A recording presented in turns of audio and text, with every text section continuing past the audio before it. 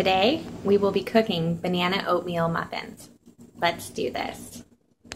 Alright, so I wasn't really planning on uh, videotaping this one, but I decided I should anyways, because it's pretty easy, pretty cool thing to make. So, uh, let's do this.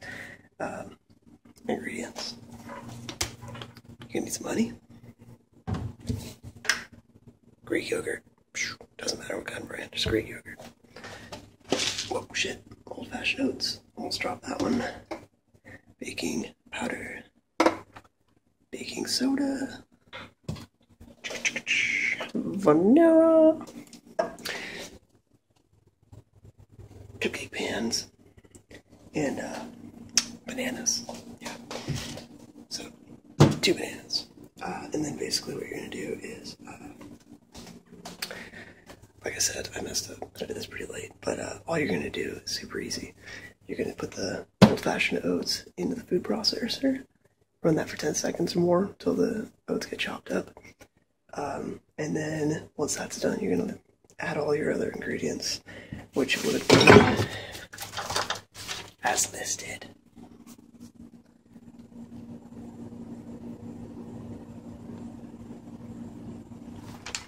Easy enough. Then basically just throw those in the food processor and uh, process until you get like a really doughy dough, like so. It's hard to see, but uh, yeah, like that, like pancake batter or cake batter or whatever. Um, and if you don't know what cake batter looks like, it just looks like oatmeal. Boom, that's perfect. Um, and then, yeah, pour it into a bowl, and then uh, you know get your cookie or your uh, your cupcake pan ready, and we're gonna pour them in there and bake them at 350. Let's uh, do that right now. You know, some girls think that cooking is really manly. Preheat your oven for 350. Alright, so like I said, I'm apologizing again for not showing you all the cool stuff with the food processor, but uh, it's videotaping this is kind of late. So, um, oh shoot, I didn't add the two eggs. You need two eggs also. But, uh, so anyways, I'm just going to use a little half cup scoop, half cup measuring cup. Fill that bad boy up, shake off the excess, and then pour it in your uh, muffin pan or uh, cupcake pan, whatever. When you're baking something that's going to be cake-like, it's really important to leave space at the top, or else what's going to happen is you're going to have a huge mess. So, um, see how see how left the space. That's pretty much what you want to do for each each one. So, you're using a half cup scooper, but you're not going to actually utilize the whole half cup.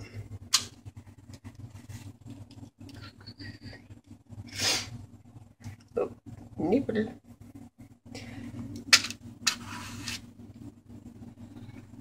That was a little bit too full. And yes, I'm doing the shirtless because, like I said, it's last minute. And I didn't feel like putting a shirt on, but fuck it. Uh, so we'll finish these up and then we'll put them in the oven. My voice is kind of scratchy. That's better. Now that we got that poured in, um, oven's ready to go, so we'll go ahead and drop these in the oven real quick. Alright, so to check the temperature on your oven, uh, if you got an old school oven like I have, it's not going to tell you. But you can, there's vents. You if there's a substantial amount of hot air coming out, chances are it's up to temp. So we're gonna go drop this in now. I wouldn't recommend touching the racks because that's stupid. Don't be stupid.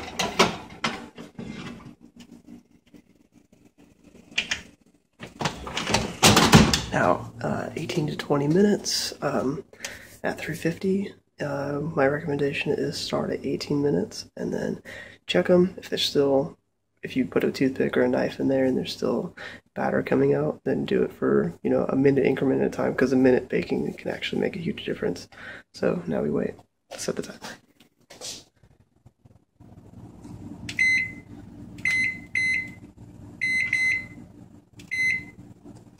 When you're doing timer, make sure you do the two zeros for the minutes. I don't know why I should have to tell anybody that, but I'm doing it anyways. Now we wait. So this recipe also calls for like an optional adding of flaxseed or it says you can use like blueberries or nuts or whatever, but I'm just gonna do them plain. Um, actually, I might add walnuts to it. I guess it's too late for that. But anyways, Um, I'm not gonna add anything to it. I'm just gonna do exactly the way it says. Um, if you do like blueberries or something, if you're using fresh blueberries, be careful not to add too many, or what's gonna happen is the juice from the blueberries will come out, and then you're gonna get like really messy. Uh, I think you can understand what would happen. The juice in the blueberry is gonna come out and make it kind of weird. So you can use like dehydrated fruits, like dehydrated blueberries or whatever, and that also helps out a lot. Or frozen ones also. Um, and flaxseed. If you're use flaxseed, if you're following the recipe directly and use flaxseed, be careful not to use too much of that because flaxseed is fiber, and fiber makes you poop. You don't want to poop too much. All right, that's good. Time to check my muffins.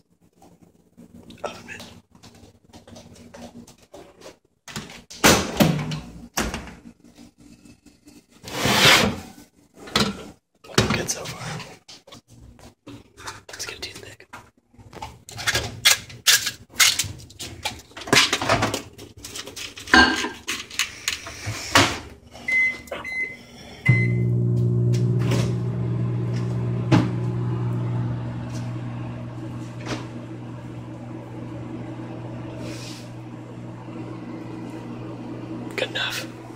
They're done. So, uh, I was slacking about a minute, so about 19 minutes. So there you have it. Banana oatmeal muffins. Um, yeah, super easy. About 20 minutes. And motherfucker.